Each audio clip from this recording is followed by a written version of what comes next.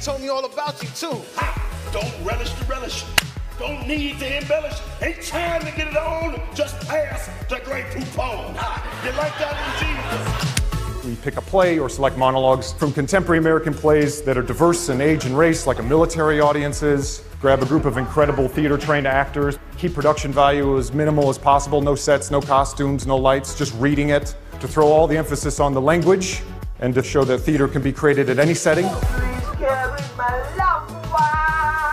It's a powerful thing getting in a room with complete strangers and reminding ourselves of our humanity and that self expression is just as valuable a tool as a rifle on your shoulder. I used to amuse friends by imitating bacon in a saucepan. Would anyone like to see that?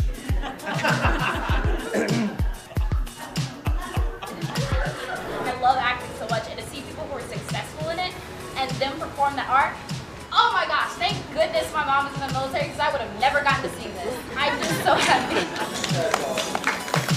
We get to experience training exercises and just get a little taste for what the men and women that we're performing for do on a daily basis. Oh, lean back. Yeah, lean back. You ready?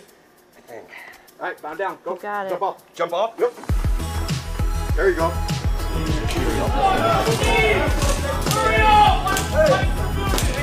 It's a nice exchange because we get to mine then for details about their lives, lives that are so disparate from our own.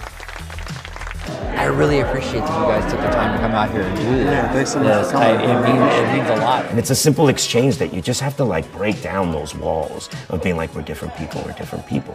We have a lot in common and we can help each other. Looks like that.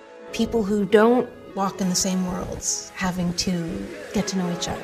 That is probably the thing that's going to save us as a human race.